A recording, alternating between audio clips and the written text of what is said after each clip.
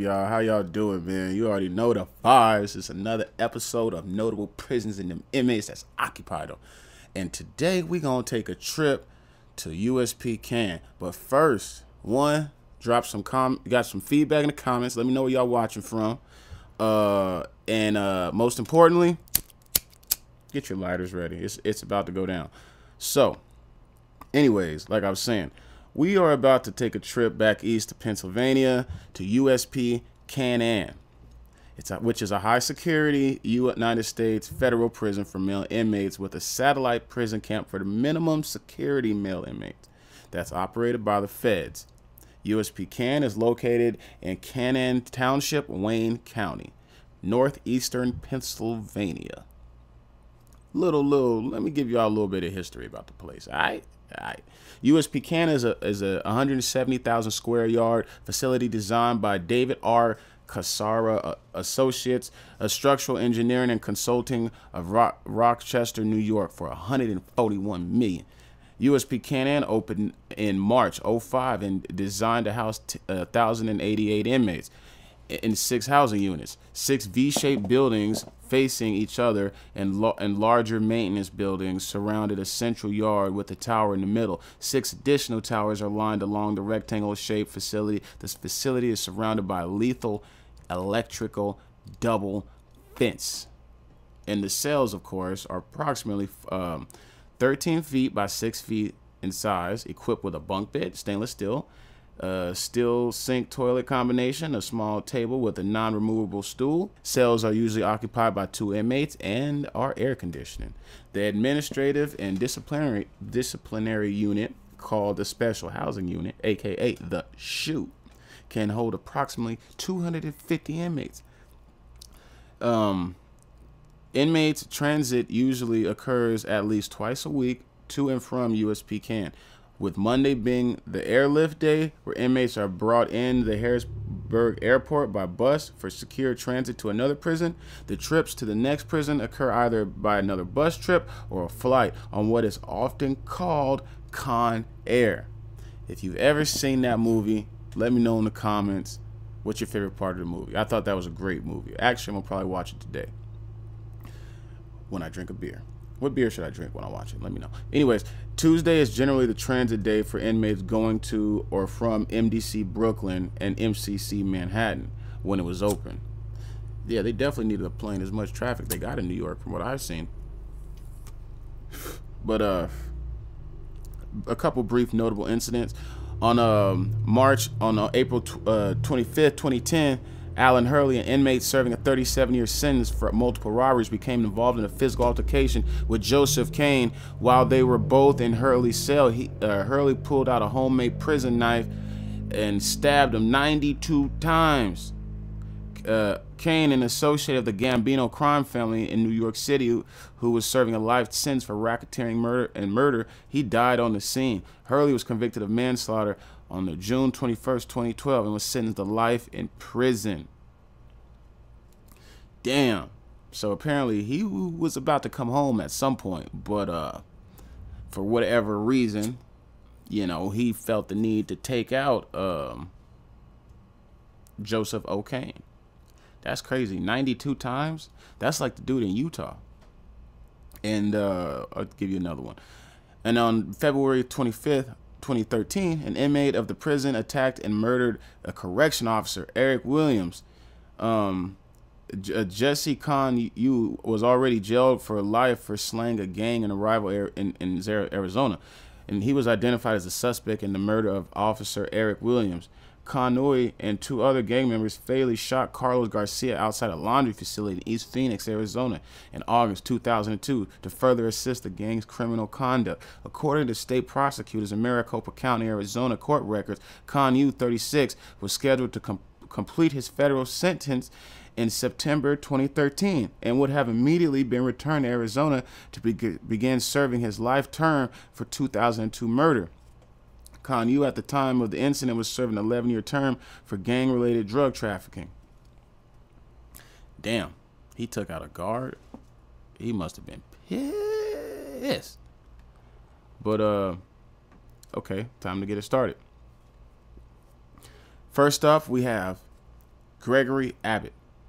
He was charged with the connection of the 2019 college admissions bribery scandal, but he was released at the start of COVID, January 28, 2020.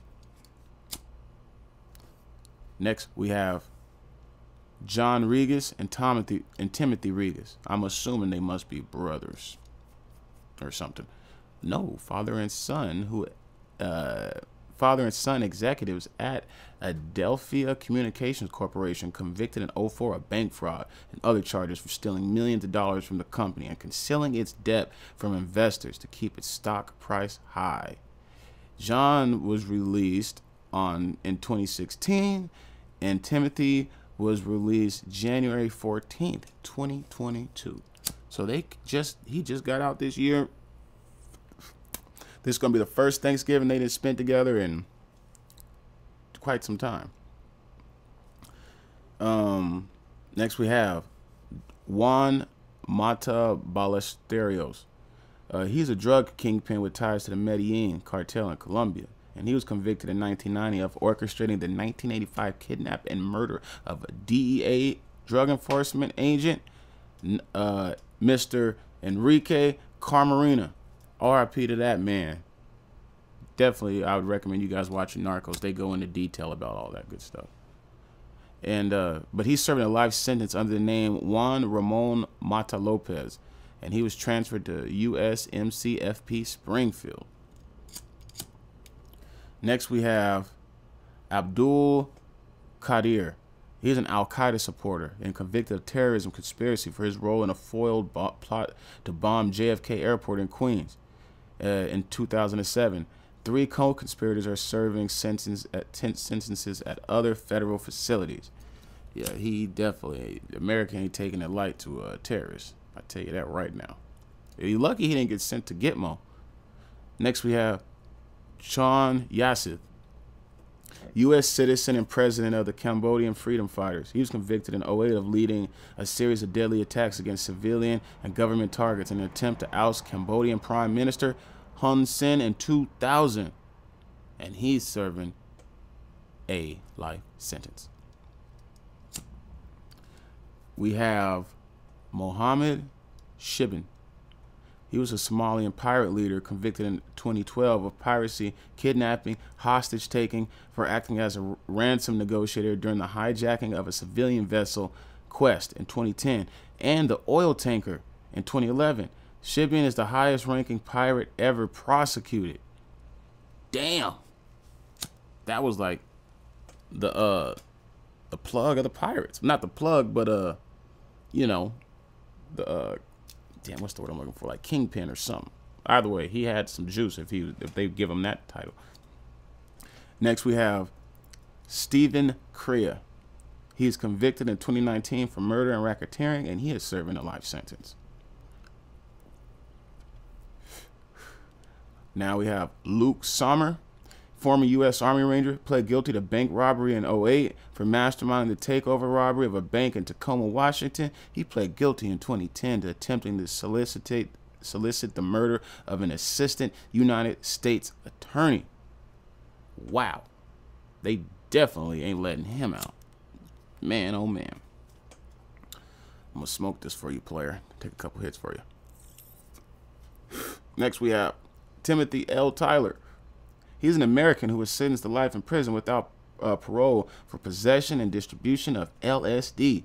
Under the federal three strikes law in August 2016, after serving 24 years and 27 days behind bars, Tyler was granted clemency by Barack Obama. Side note, funny story. I went to a festival not too long ago, and I was in the crowd, and uh, you know, I'm in there, I'm, I'm blowing and whatnot, blowing my backwoods and shit. And some dude walks up to me, he's like, "Hey, hey man, you want to hit? And I'm looking, I'm like, I don't see no weed in his head. He's like, I got some, I got some LSD. I was like, yeah, bro, it's a hard pass. I appreciate the offer though. I, I, I really do. You, you a good, you a good fellow, but I'm a, I'm gonna just pass on that. And then he proceeded through the crowd asking everyone, hey, you want some LSD? You want some LSD? Like, bro, I'm not taking no narcotics from strangers, man. They got too much of that stuff going around. Next we have Benjamin Arellano Felix, former kingpin of the Tijuana cartel, sentenced to 25 years for racketeering and conspiracy for to launder money. And he's serving a 15 year sentence and scheduled for release in about 10 years, well, 2033.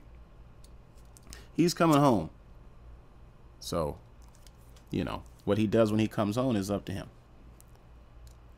Um, next we have Paul Manafort. He's an American political consultant and former campaign chairman for the U.S. President Donald Trump. Manafort was found guilty of tax fraud, bank fraud, and witness tampering.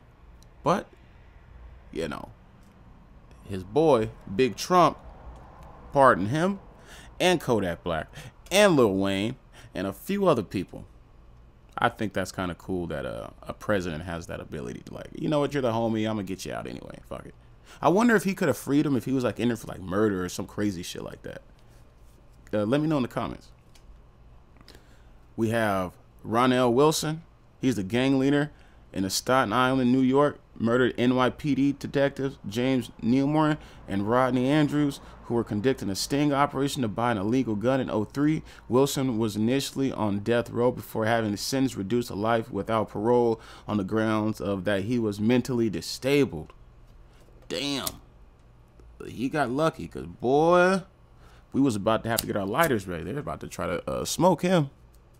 Definitely, you can't fuck around with these officers like that. They do not play. And now we have Alexandra, Alex, Alexander Amon Kotey. He, he was one of the four members of the British ISIS Beatles and also known as Jihadi George. Kotey was convicted of hostage taking providing material support of a terror, organization for his role in the kidnapping, torture, and murders of dozens of Europeans and American citizens between 2012 and 2015. And he was convicted of beheading and torturing four Americans in 2021 and sentenced to life in prison. Another member of the ISIS Beatle, El Shafi El, uh, whatever the hell his name is, was also tried and convicted and received a life sentence. Get your lighters ready. They definitely smoked his ass. I'm surprised they didn't give him no crazy ass number like the guy in Colorado. Like 3,762 years and 22 days and 5 hours and 10 minutes and 3 seconds. Anyways, appreciate y'all for watching. Smack the subscribe button, hit that like button. Stay tuned for more episodes. We dropping Monday and Friday, guaranteed. Occasionally, I'll drop during the week when I'm not uh, busy and stuff. But appreciate y'all for watching. Bye.